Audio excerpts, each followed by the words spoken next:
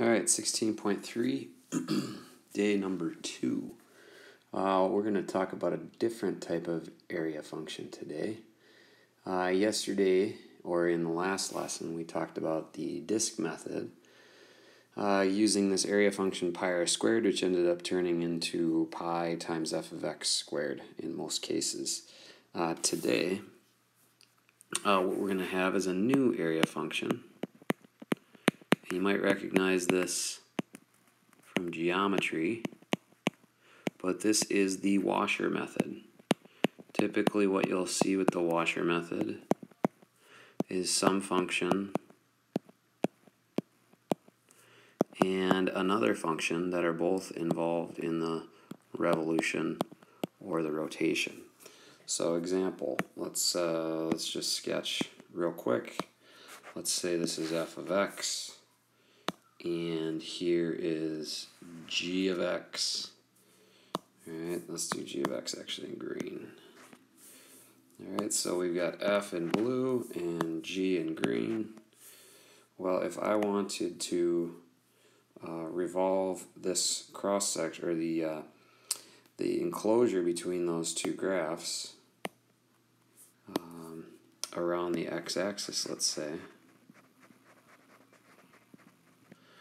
we would no longer be creating um, a solid, right? There'd be a hole in it. So, for example, uh, then my graph, as I revolve it, would look like this. And I'd have, at any given point, I would have this thing that from geometry that you might recognize as the annulus.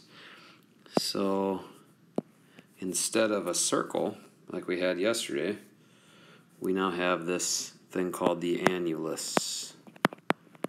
And the formula for the annulus is area is pi big R squared minus pi little r squared. So to find the volume, we would take pi times the integral from a to b of f of x squared minus g of x squared dx. So that's our formula for today. So let's do a washer method example. Okay, uh, let's sketch these out. Okay, so here I have a graph of my two functions, y equals square root of x and y equals x over 10. Um, and it looks like I want to cut that off at x equals 4. Okay, so uh, let's see here, x equals 4. So first let's find out where these two graphs would meet. So the square root of x equals x over 10, just to be sure of where we're at here. Um, so I'd square both sides, so I'd get x equals x squared over 100. So I would get x squared equals 100x. So 0 equals x squared minus 100x. So that looks like at 0 and at 100. Okay, so the graph of this isn't going to be uh, to scale, that's for sure. But uh, that would be the point where those two graphs meet. I'm just limiting that. I'm cutting it off right here. Okay, so that means, and of course 4, like I said, is not, that's not symmetrical. But let's say that we revolved it around the x-axis. That was decent. So what I would be doing then is creating an annulus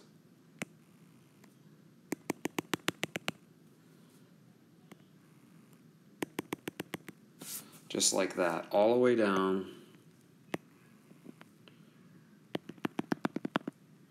All the way down. And the size of the radius, I want to keep consistent there. The size of the radius would keep changing. Well, what would big R equal? Big R would be the length from the x-axis to there.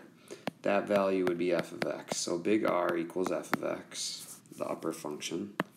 Little r would be this distance right here. And little r would be, uh, let's call it g of x. So let's assign f of x to the square root of x and g of x to x over 10.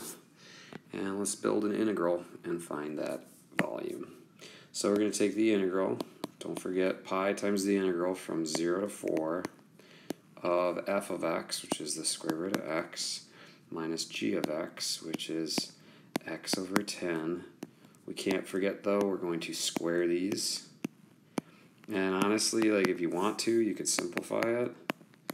Put it as 0 to 4 of x minus uh, x squared over 100 if you wanted to, if you just wanted to simplify. Either way, your calculator will do the work for you. So let's go ahead and use the calculator to find the volume uh, of that. Alright, so the answer that I'm getting is uh, 63.063 units cubed. Now, in your calculator, a lot of calculators have a shortcut where they have a little box here and box here and then it gives you, you know, what do you want inputted here, da da da, and then with respect to what variable. Okay, so of course we would put a 0 here and a 4 here. I would save this function, this right here, I would save that as y1, and just type in y1 squared, right, and then dx here. And that'll do all the work for you. It will output this answer for you using of course, Math 9. Okay, here we are. Uh, we got two functions here. Uh, let's call uh, this one g of x. Let's call this one f of x. Okay, so let's graph them. Well, it's going to be pretty easy to graph g of x. g of x is x squared. Okay, and f of x, we got to do a little work on, but we would get y equals plus or minus the square root of 8x. Okay, so the positive portion of that would look something like this. Okay, where this is f and this is g. Okay, so we're going to be revolving the area between those two curves. Well, we need to know these two points then. Okay, clearly this is x equals 0. And this we just got to work to find. So let's go ahead and find that. I'm going to set these two functions. I could set them equal, which in this case wouldn't actually be that smart. But if y equals x squared, then y squared equals 8x. I can do a direct substitution of x squared in for y. So that would be x squared squared equal to 8x. And now I can find my value for x, hopefully. So x to the fourth minus 8x would equal 0. Factor out an x, I get x cubed minus 8 equals 0. So here we go, I see that x equals 0, or 2 cubed is 8, therefore that would make that 0, x equals 2. Alright, so I see x equals 2 here, I see x equals 0 there. Now I just got to set up my integral and go from there. So I'm going to go from 0 to 2 pi times uh, big R squared. My upper function is f. So if I square this, right, uh, it's not going to matter whether it's positive or negative. So I'm going to go just with positive root 8x minus lower function, which is g, so x squared squared, and all of that dx. So if you want to make this easier on yourself and go from 0 to 2, you could just enter in one function and call it 8x minus x to the fourth and dx. So I would type this in for y1 and simply do uh, integral from 0 to 2 times pi right, of y1, I don't even need to square it, dx. Alright, so I'm going to see if I can come up with an area there by using my calculator. Looks like I get an answer for my volume of revolution of approximately 30.159. Of course, if you would, like, uh, don't get that confused, please, with the fact that here I've got, you know, this area. That's not the area there. That That is the volume when I revolve it. Right, when I revolve it around the x-axis. Right, as I add up all these areas, I get that volume. Alright, so that would be units cubed. Alright, let's move down and find the volume of the solid created by rotating the region about the y-axis. Okay, so basically now I'm just changing my upper and lower functions. Okay, so um, I got to do a little bit of work here. I got to get x all alone. So uh, f used to be f used to be uh, what is it? Uh, y equals, or let's start where it began. y squared over, excuse me, y squared equals 8x. I want to solve for x, so I get y squared over 8. Okay. And for g of x, g of x was y equals x squared. So now uh, g would be the square root of y equals x. Alright, so now you can imagine that uh, I'm revolving this around the y-axis. Therefore, um, you know, any one of my disks here would look like like this. Okay, so big R in this case, we're going to flip them. Big R is going to be G, and little r is going to be F. So I'm going to take the integral from 0 now to the y value. Right, I knew the x value before was 2, but I need the y value. So that point there is 2 comma 4. So I'm going to integrate from 0 to 4, big R squared, which is the square root of y now, minus little r squared, which is y squared over 8 squared dy. So simplifying, I would rewrite make it easier on yourself and call this y minus y to the fourth over 64 dy. Then go straight to the calculator. Alright, so volume that I'm getting according to my TI is 15.079 units cubed. Alright, that is uh, the washer method. I think that's it for today. Nope, we got one more. Oh, fun. All right, let's do one more. I'll sketch them out and we'll come back and look and go for it.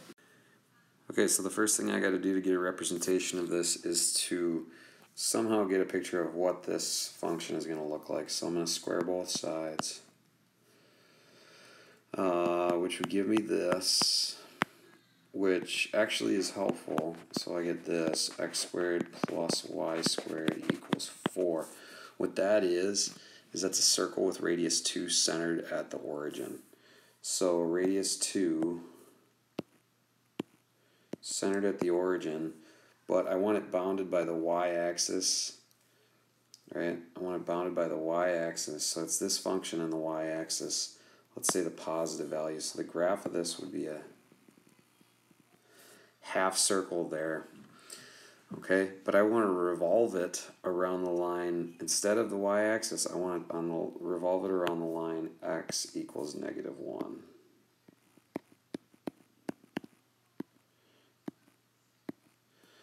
Okay, so let's look at what this shape would look like.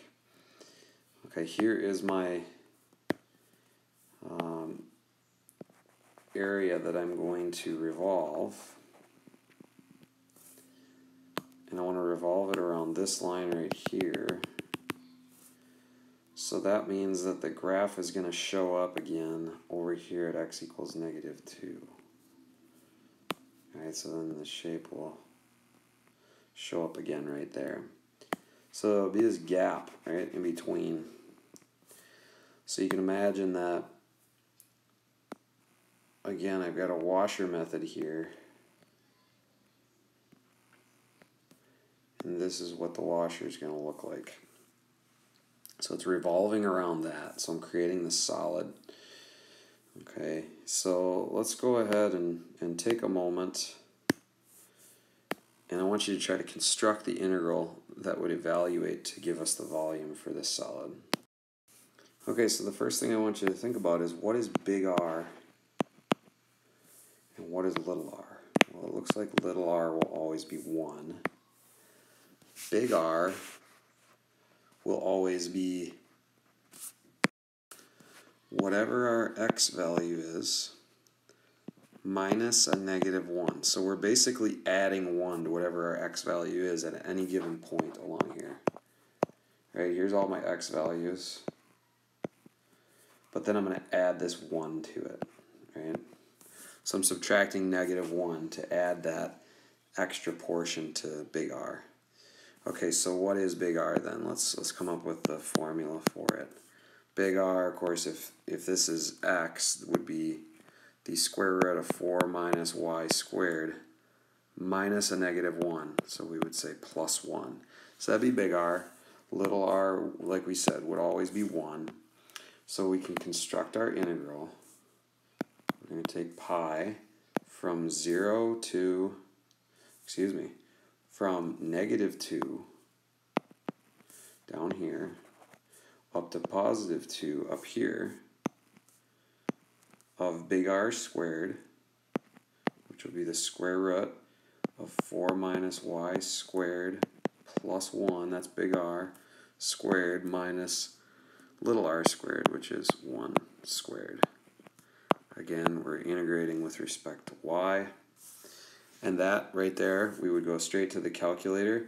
I would probably, if I were you, just so I didn't screw anything up, type this in as y1, type this in as y2, Okay, and okay, so uh, using my calculator, I get 72.988 units cubed. Uh, that's it for uh, washer method. Tomorrow we'll do uh, our last lesson of the chapter, and then we'll move on to chapter 8.